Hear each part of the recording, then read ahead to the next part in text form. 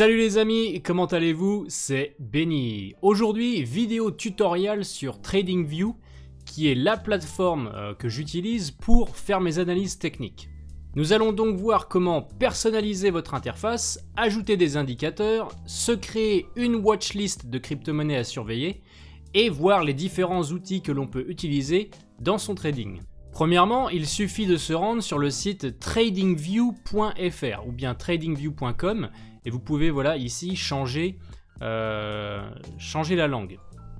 Alors TradingView, c'est une euh, plateforme de trading social à la base.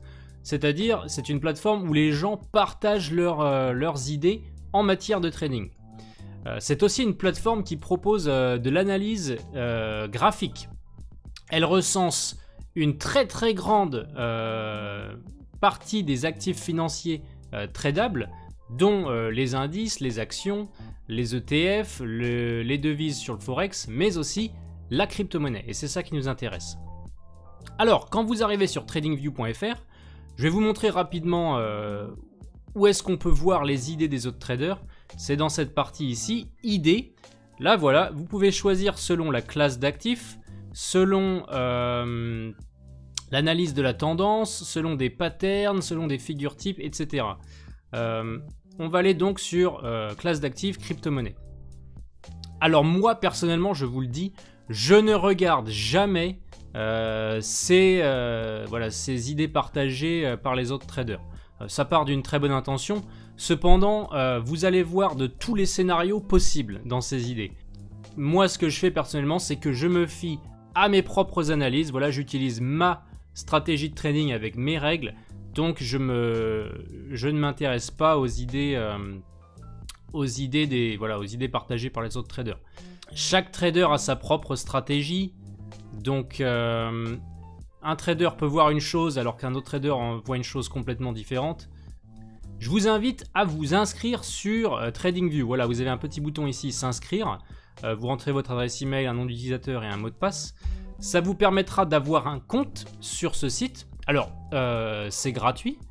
Il y a des services payants. Vous pouvez améliorer le niveau de votre compte à un certain prix. Cependant, voilà, TradingView propose aussi une version complètement gratuite qui euh, voilà, saura largement combler euh, les débutants, voire les traders intermédiaires. L'intérêt de vous inscrire, c'est surtout que vous pourrez personnaliser et enregistrer votre... Euh, la personnalisation de vos, graphiques sera enregistrée automatiquement et dès que vous vous connecterez depuis n'importe quel ordinateur, vous aurez automatiquement les graphiques que vous avez enregistrés.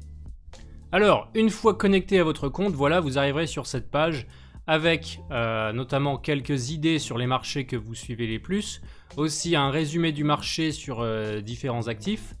Donc, pour aller sur un graphique et commencer l'analyse technique, il vous suffit ici, pardon, je vais mettre en français pour que ce soit comme, euh, comme chez vous.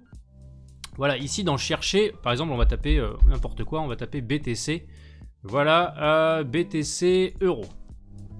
Donc ça va nous emmener sur le, euh, voilà la page de euh, Bitcoin Euro.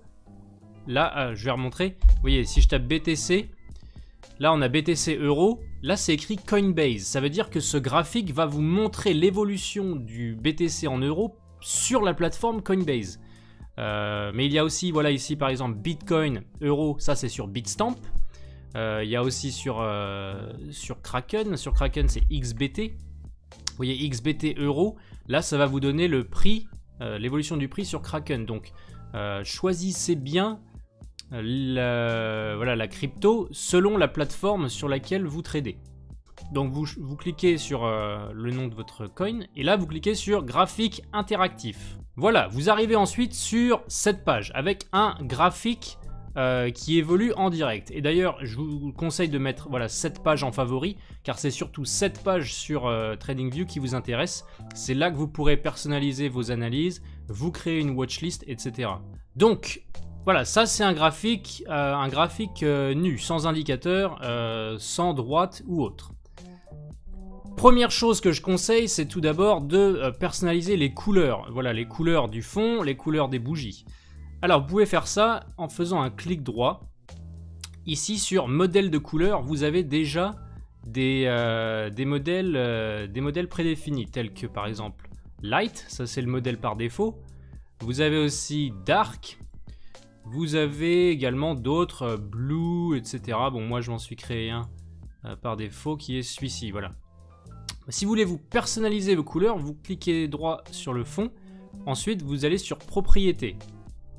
Là, voilà, vous pouvez régler vos couleurs. Vous pouvez même régler le type.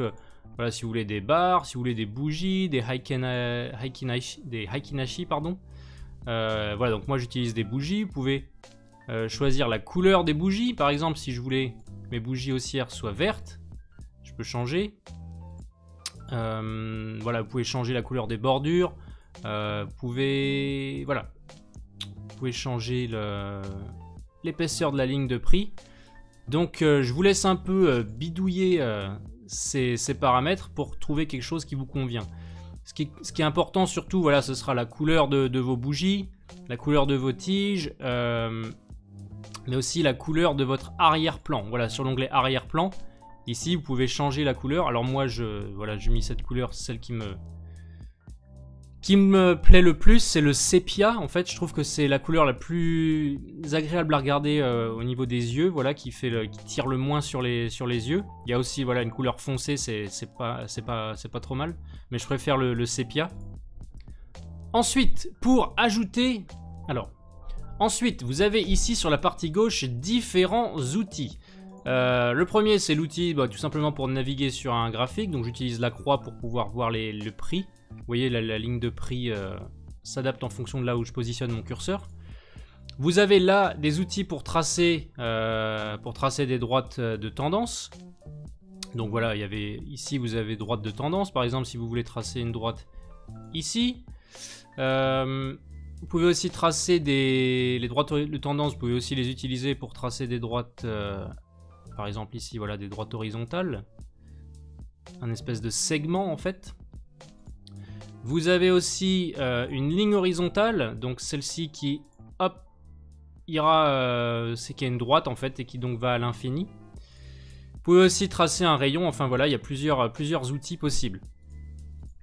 Sur la deuxième partie ici, là, c'est des indicateurs vraiment euh, que, que je n'utilise jamais personnellement. Alors, il peut y avoir les retracements de Fibonacci. Je sais que certaines personnes utilisent les retracements de Fibonacci. Euh, vous avez des outils ici pour euh, dessiner sur votre graphique, par exemple euh, des rectangles. Si je voulais tracer un rectangle, pardon, oui, un rectangle ici, voilà.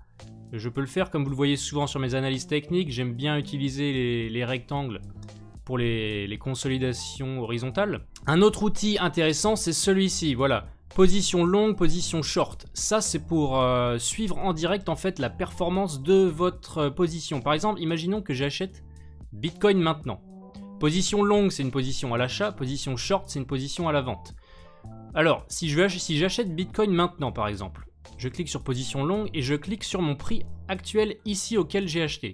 Boum Là, vous avez euh, ce double rectangle, un rouge et un vert. Le rouge vous montre la partie dans laquelle vous êtes en moins-value et le vert la partie dans laquelle vous êtes en plus-value. Et vous pouvez aussi déplacer voilà, euh, euh, les extrémités de ce rectangle si vous mettez par exemple un stop ici, vous voyez que votre stop est 4,27% en dessous du niveau actuel. Si vous mettez un take profit en haut, vous voyez que votre take profit est 16% au-dessus. Donc ça vous permet en fait de voir, de, suivre l'évolution de votre trade en moins-value ou en plus-value. Pour supprimer un indicateur, c'est très simple. Vous cliquez dessus et vous appuyez sur le bouton euh, Del ou Supre de votre clavier. Là, vous avez euh, plein de petits logos hein, pour, euh, si vous voulez, euh, voilà, vous mettre des, petits rappels ou des choses dans ce genre-là. Et là, voilà, ça, le, le, le reste en bas, là, bah, ni toucher, voilà, ni toucher pas trop. Ça, je vous conseille de le désactiver, le mode aimant. Comme ça, vous pourrez vraiment bouger tous les indicateurs, tout ce que vous tracerez sur votre graphique sans que ce soit aimanté à une bougie. Donc voilà. Ensuite, pour ajouter des indicateurs à votre graphique. Il vous suffit de faire un clic droit. Alors il y a plusieurs possibilités. Soit vous avez ici euh, indicateur, pardon, vous cliquez ici sur indicateur. Là, vous avez une liste de, types d'indicateurs, ou alors vous pouvez directement rentrer le nom de l'indicateur. Par exemple, si je voulais rentrer le MACD. Donc je tape MACD. Voilà, je clique dessus. Et mon MACD s'affiche automatiquement en dessous. Je peux régler l'échelle voilà, comme, comme ceci. Je peux aussi, avec, en appuyant sur l'œil, cacher ou montrer mon MACD. Et en, appuyant sur la petite roue, je peux voilà, aussi personnaliser mon MACD avec euh, euh, les paramètres à utiliser ou euh, voilà, la, couleur ou l'épaisseur de, de, mes, de, mon histogramme. Alors, concernant les indicateurs, je ne vais pas rentrer dans les détails et le fonctionnement de chaque indicateur dans cette vidéo, c'est pas le but. Là, je veux vraiment vous montrer comment se préparer une interface euh, sur TradingView. Cependant, si vous êtes intéressé et que vous souhaitez que je fasse euh, des vidéos en fait euh, d'explication sur comment utiliser certains indicateurs, si ça vous intéresse, n'hésitez pas à me le faire savoir et à me le mettre en commentaire dans la vidéo. Parce que voilà, j'ai vu euh, plusieurs vidéos euh, sur internet soi-disant euh, expliquant le fonctionnement des indicateurs, sauf que bah c'est des coups à faire des bêtises. Voilà, je je veux pas critiquer le travail d'autrui, mais selon moi, voilà, ces, ces vidéos ne vous expliquent pas en fait comment est calculé l'indicateur, en fait, qu'est-ce qu'il fait tout simplement, sur quels paramètres il se base, comment est-ce qu'il est calculé. Euh, comment interpréter cet indicateur parce qu'on vous dit euh, ce, que, fait le prix quand cet indicateur fait telle chose, mais ça vous, en fait, l'indicateur il est en retard par rapport au prix. Si on vous dit, euh, regardez là, l'indicateur montre telle chose, ah oui, bah regardez sur le prix, ça s'est produit aussi. Bah oui, mais c'est trop tard du coup. S'il y a déjà eu le, mouvement de prix que montre l'indicateur, c'est trop tard. Et d'ailleurs, un indicateur, il a toujours un temps de retard. Donc c'est pour ça, si vous voulez que, je vous explique comment vous pouvez euh, euh, intégrer l'indicateur à votre stratégie pour prendre des positions euh, selon un signal donné sur l'indicateur, eh bien n'hésitez pas à me le faire savoir et je ferai donc plusieurs vidéos sur les indicateurs principaux.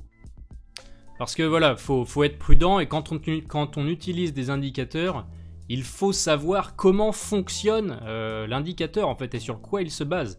Parce que les indicateurs, c'est tout simplement des formules mathématiques qui vous représentent là un histogramme, par exemple pour le MACD, sauf que cet, histogramme, il est dérivé directement du prix. Voilà.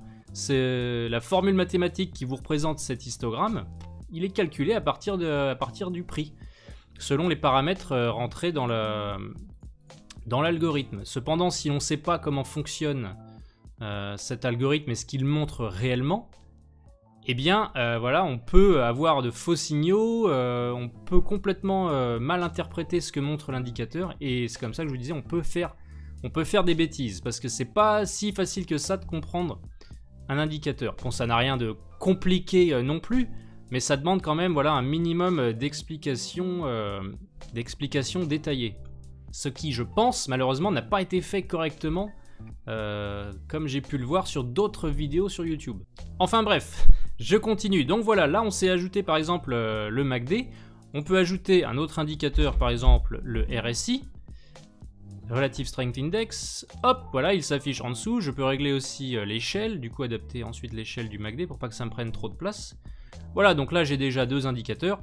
Vous avez compris, vous pouvez en ajouter d'autres, tels que les bandes euh, voilà, de Bollinger. hop, ici qui s'ajouteront sur mon graphique. Ça sert à rien d'ajouter 50 euh, 000 euh, indicateurs. Euh, voilà, là c'est là c'est bien assez pour pouvoir se faire une analyse et établir une stratégie de trading. On peut aussi ajouter les moyennes mobiles. Alors moi je les avais, je les avais cachées au début de mon graphique là, que vous ayez un graphique nu, mais voilà, voilà, je vais les réajouter. Hop, donc les moyennes mobiles. Bon là ça commence déjà à être un peu, un peu trop d'indicateurs selon moi. Voilà, j'aime bien les graphiques propres. Donc, euh, donc voilà, mais en fait c'est juste pour vous montrer un exemple comment ajouter un indicateur. Donc soit ici, soit vous faites un clic droit, ajouter un indicateur.